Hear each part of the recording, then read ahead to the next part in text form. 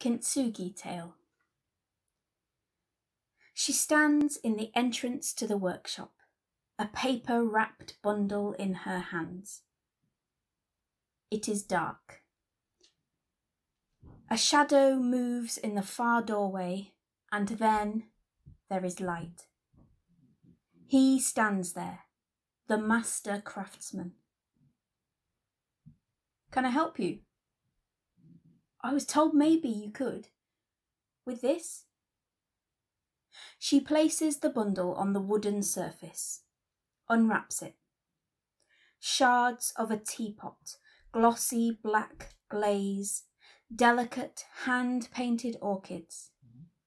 He leans over to examine it. She looks around the room. Shelves full of mended and half mended pots broken pieces brought back together with gilded seams of gold. She gasps. He looks up. They're beautiful. It's kintsugi, he says. The idea that broken fragments can be mended and turned into things of beauty. I can fix your teapot. You can wait if you like. He takes down bowls and brushes, bottles and tools and lays them on the table. Begins to mix the lacquer. She steps into the studio, reaching up to trace a delicate golden vein on the surface of a deep blue cup. He begins to speak. It's not only for pots, you know. Let me tell you about the world. It dawned with the dawning. The world was new, whole and unbroken. In the heavens, the Creator had a crucible of gleaming molten gold, sacred, holy.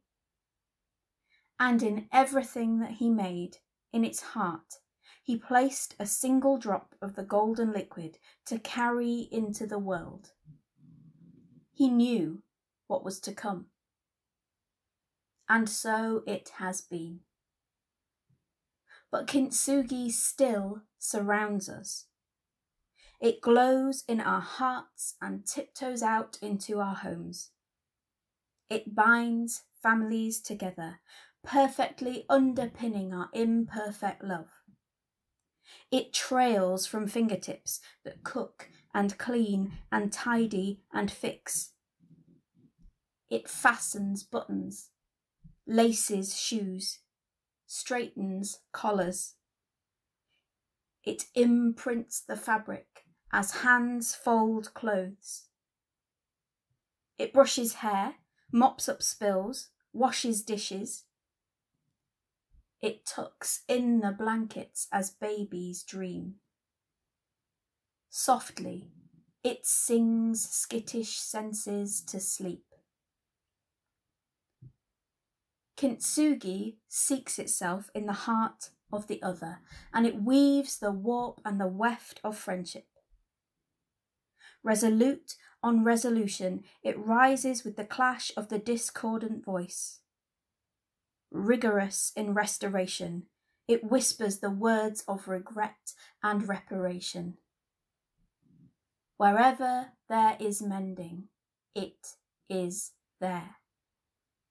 It flares from fire engines, forming footprints behind heroes who run toward danger.